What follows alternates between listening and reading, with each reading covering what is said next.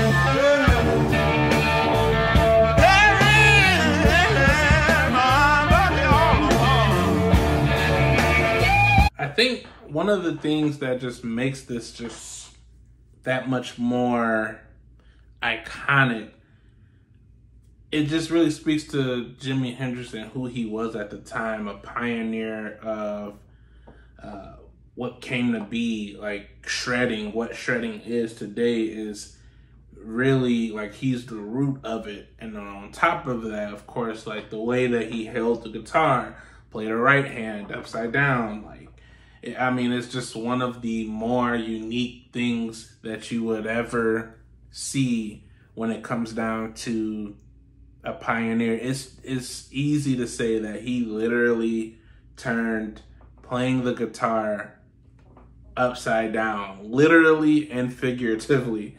Uh, let's continue. That's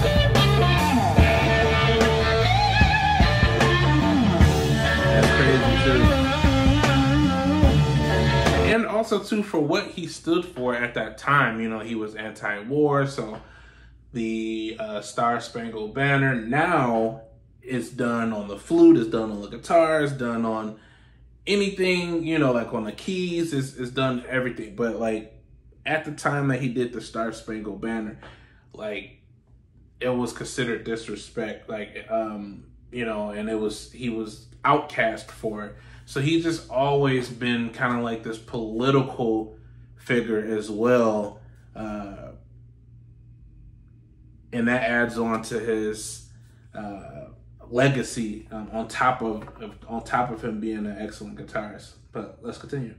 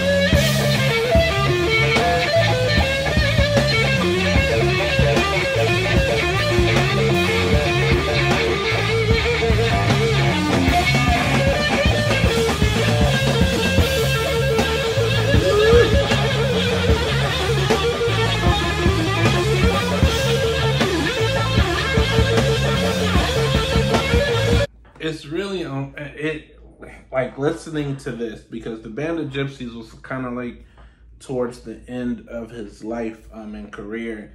And it's really frustrating because it's like i wonder where he would have taken music. He was already bending what people knew to be music at the time. It was really just amazing about this performance or just about Jimi Hendrix in general was some people liked what he was doing, some people hated it, some people really didn't even consider it as music.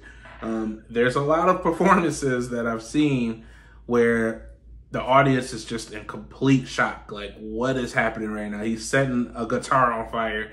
Um, like, it's literally those type of things where it's like, um, and then of course like the way that he plays is emulated now so it's hard to imagine.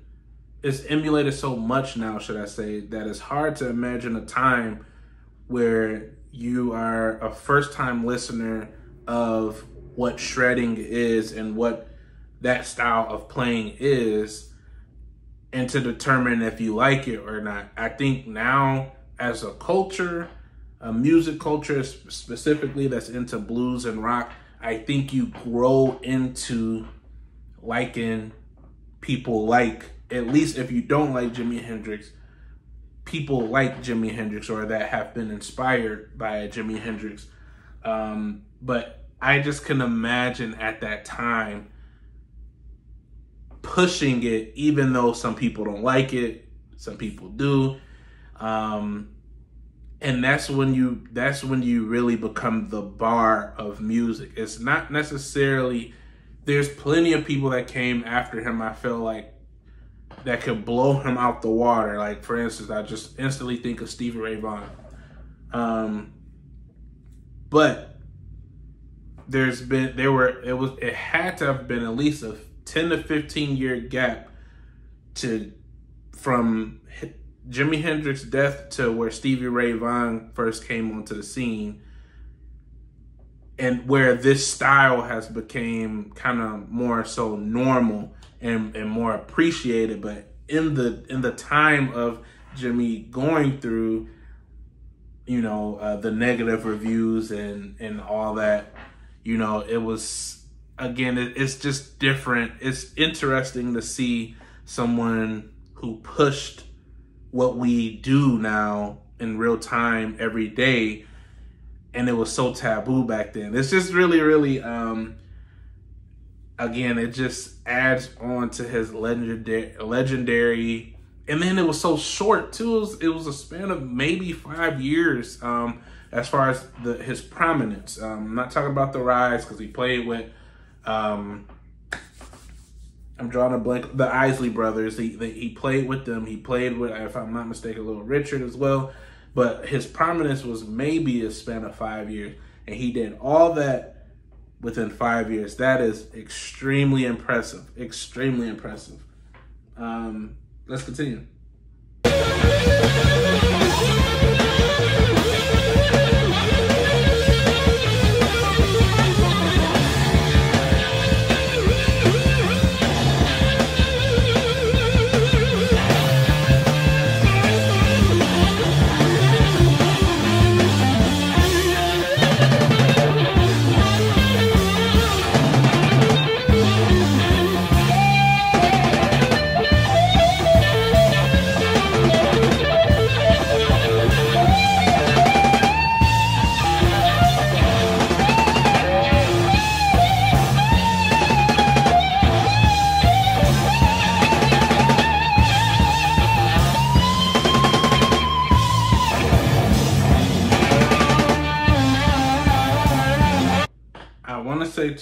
Think what I another thing that that's really catching me right now is the fact that the snare sounds very similar to how um, a gun shoots off in, in rounds, so to speak. So it's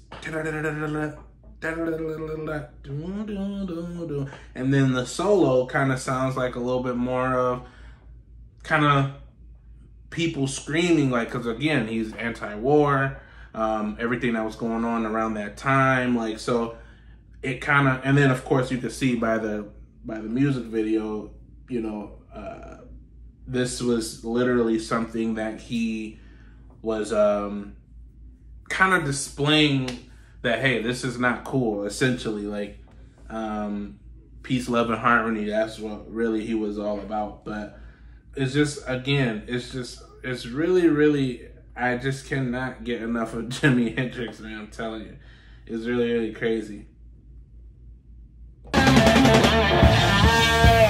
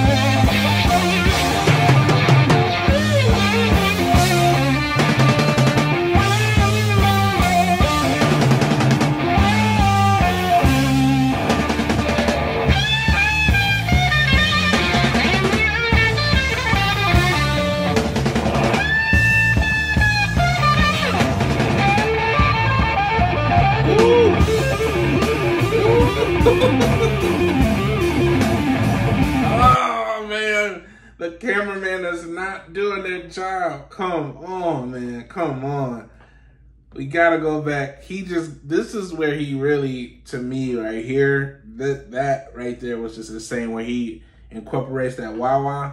Go back a little a little bit more.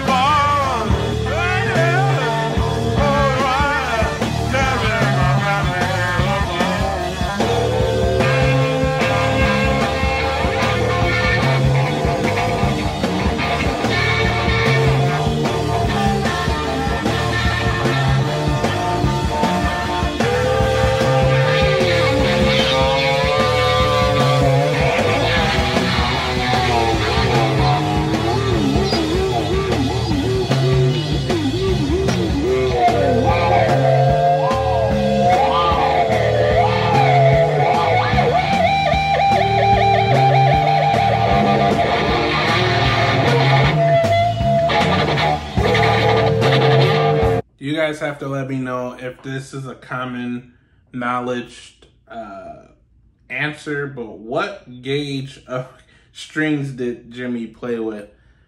He has a lot of confidence in that in those strings not popping, especially the high E string, the B string. Um, actually, really those those the last three, but specifically the high E string and the B string. Bending that bending that um tremolo like that is really one of those things that I'm like, I refrain from personally. Maybe they don't make them the exact same as they used to, but honestly, to me, it, for that style of playing as well, it requires a thicker gauge. I like tens. Um, I would be surprised if he's playing on nines, but tens are higher. Um, that's what I imagine especially too because he always played in um, drop tunings and things like that. So you guys let me know in the comments what uh, if you guys know um, what was his common go-to string gauge. Yeah,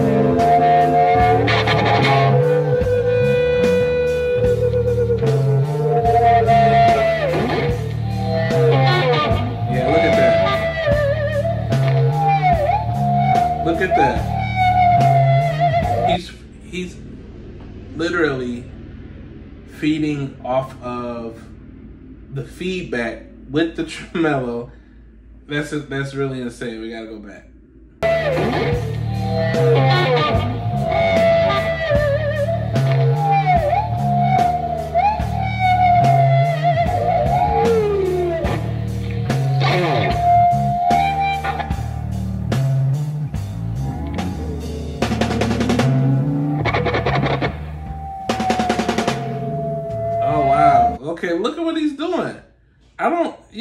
So this is really crazy. Like you I in a world where there where technology was limited as far as the effects and everything, he's used he's tapping the headstock to vibrate the strings to get that unique sound. Um another thing I was gonna say, going back to the string gauges, he was always tuning them in real time. So I just wonder, um, you know, nines nines can't take that type of uh, that type of playing. Honestly, uh, yeah, I, I'm really really curious about that. Don't you shoot him down. He's about to leave here. Don't you shoot him down. He's got to stay here. He ain't going nowhere. Sound good too. Been shot down to the ground.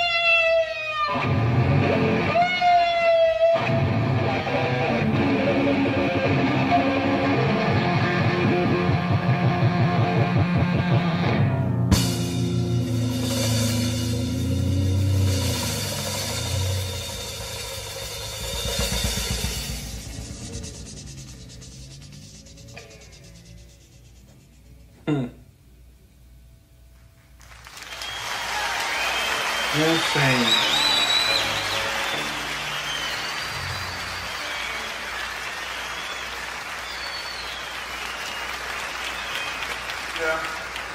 absolutely insane, guys. Um, I saw actually, I can't remember somewhere on somewhere in Cobo Hall, downtown Detroit, where he actually played. I think, if I'm not mistaken, it has to be a wall of all the tickets that were that were sold from whenever Cobo Hall was built until um, from one time to another, and Jimi Hendrix was in there. And I searched to see if I could find something where someone might have been recording it, couldn't find it. I think if if I'm not mistaken, if if I found anything, it was just straight audio. Um, but this is absolutely insane. And then, so the more and more I'm actually saw that live, I'm like, it just seems honestly that this was bound to happen. The best way I could describe it is that he was bound to break the barriers because if you're playing the guitar and you pick it up and play it upside down, these sounds and and the way that he plays was literally bound to happen because you're doing it the unorthodox way as is. Really, really dope to see. Um, man, I I just ah man, it's it's still as as amazing as it is, it's just as frustrating to see that um, I wish we could have saw where he would have went in the 80s, especially when you put when you're put up against uh, Jeff Beck, um, Eddie Van Halen, Stevie Ray Vaughan. Like when you put up against those people, um, do you what what? I just wonder where what his sound really would have evolved to. But in some ways, we kind of see it in today's time. Like we see where where it actually has evolved to. I just would have liked to see him himself do it, but it's really dope to see these type of performances. So shout out to Joe Satriani and um, Steve Vai for the recommendation. Even though they didn't recommend it to me directly, they just said it on Rick uh, Beato's uh, interview together that they did a couple months ago. So shout out to all three of them.